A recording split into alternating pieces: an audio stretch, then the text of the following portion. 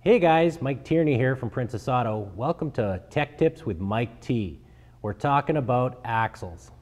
When building a trailer, you always want to start with the axle. Uh, regardless of the style of axle that you're looking for, the axle is the component you want to begin with because that's going to set the dimensions, the weight capacities, and the overall look of your trailer.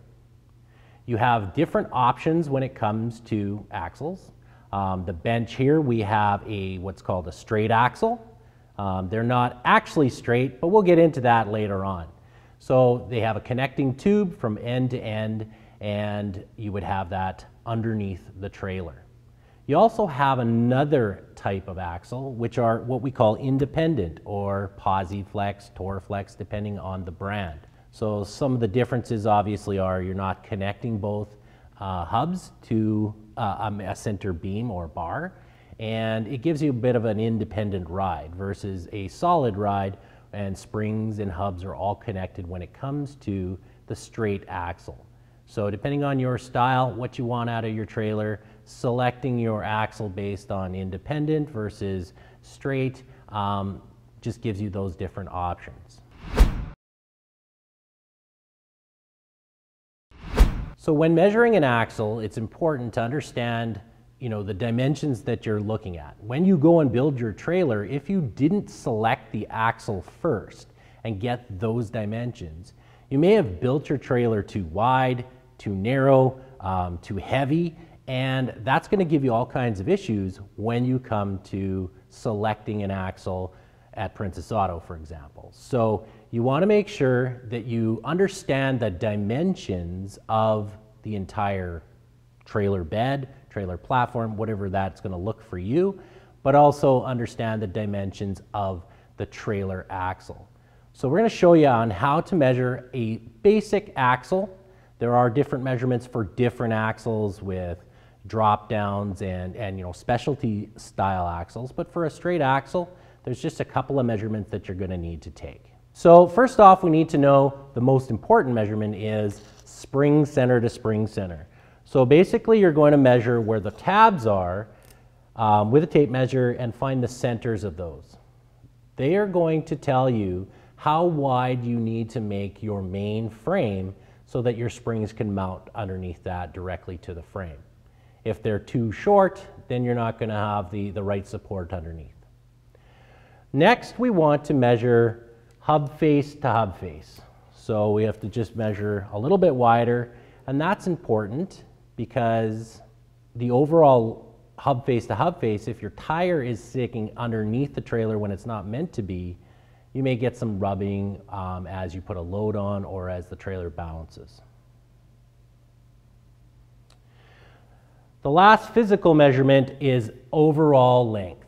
So the, the complete size. This gives you your complete width because there are certain regulations um, depending on where you're from. So across Canada, there's different uh, um, regulations, transport regulations, and you may have to add certain equipment to the trailer to be legal to tow on a road. That's your basic way of measuring a straight axle. Now, if you don't get this all right, you know, if you don't measure out your, your, uh, your spring centers to spring centers properly, you may have to build in gussets in your trailer. That's why it's super important to start with the axle. Once you have those dimensions and you get the size of axle that you want to use, you're basically just taking the measurements off of that and that just allows you to line the axles up to the main frames properly without any twisting or adding extra material or rebuilding in some cases your trailer and you'll get a more, you know, more efficient trailer, more efficient way to, you know, to produce a trailer and to, to really allow you to select the right components the first time without having to go back and forth to the store to refit something.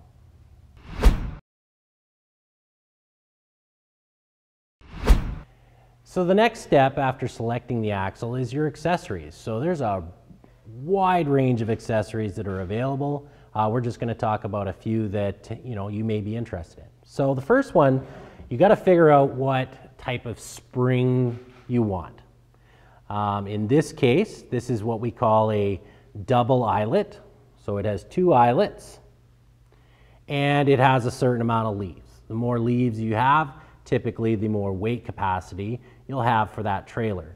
Um, but the kits really are you know, dedicated to a couple of different models of axles. So if your axle can handle that weight, your leaf spring, just because you go higher on your leaf spring doesn't mean that you're going to gain that capacity. Now you'll need, in this case for the axle uh, or straight axle, you'll need two leaf springs, one for each side. We also carry another type of leaf spring. Um, it's not what we consider a double eyelet, it's a slipper spring. Um, it loses one of the eyelets and it has a bit of a tang off of the, uh, leaf, the top leaf spring to allow you to have a different mounting system. So it's just an option. One isn't any better than the other. It's just a matter of what type of system you're looking for or replacing.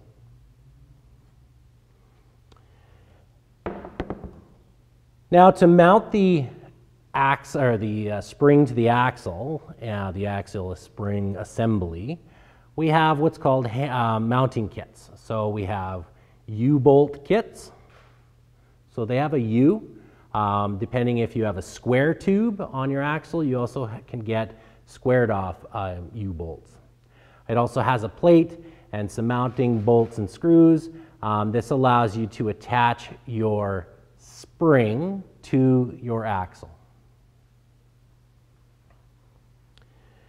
Now to mount the spring axle assembly to the trailer itself, once you're ready to do that, we also carry hanger kits. You can get individual components of the hanger kits. You can get the kit itself. You can get replacement bolts, replacement bushings. All of those kinds of things are available. Um, this is just one kit that we're, uh, you know, we're representing here.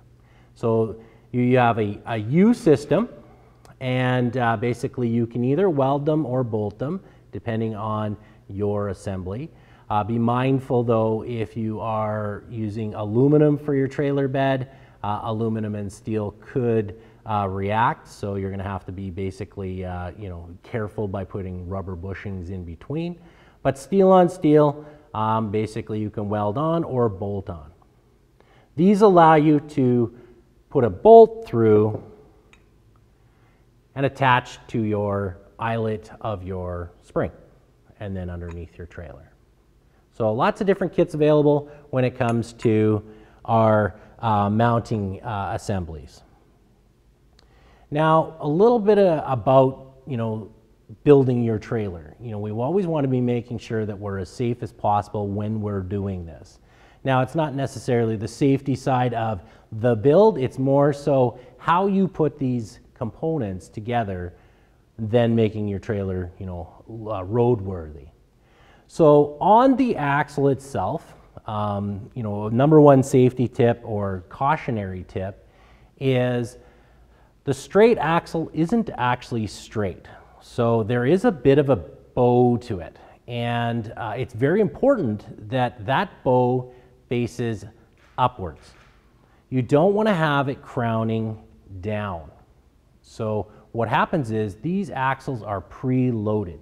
So when you put the axle facing the bow upwards, as you the load or the weight of your trailer is put on this axle assembly, the tires camber back and forth. And if you put the crown down, that will you know cause stress on the axle and you're going to actually wear out your trailer tires very quickly because the camber of them under load will be offset too much and uh, you'll put excess uh, wear onto your bearing assemblies in the axle. So make sure you always have the crown facing up when you install it.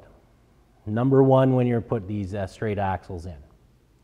Now, if you're replacing components, so maybe you want to just replace a hub assembly, uh, maybe a bearing shot on your, uh, your axle, and you're not actually replacing the whole axle, um, maybe you're making your own assemblies. So there are people out there that want to make their own tubes and, and you know out of square tubing versus round tubing. We do have um, hubs, stub hubs, um, that are available. And um, they come in a variety of weight capacities and sizes.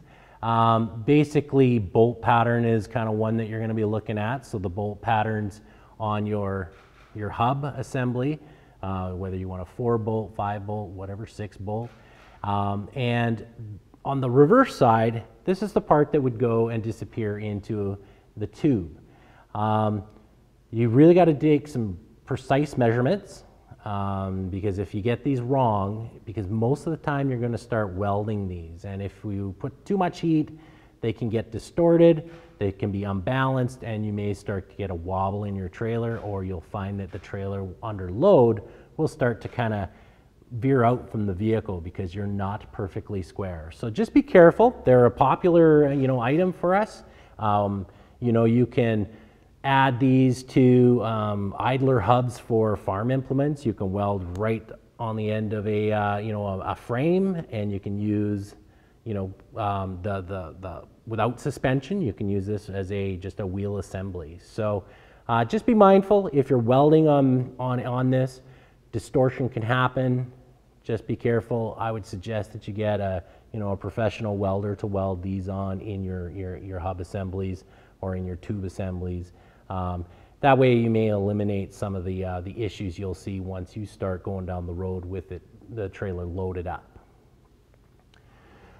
Always check with local bylaws, local transportation laws. Um, you know, towing a trailer, um, you know, is a necessity in many cases, but there's a lot of times we have to be very careful of how we design that. In some municipalities or uh, you know provinces, um, you can't just go and build your trailer and use it. You have to maybe get it uh, certified stamped by an engineer.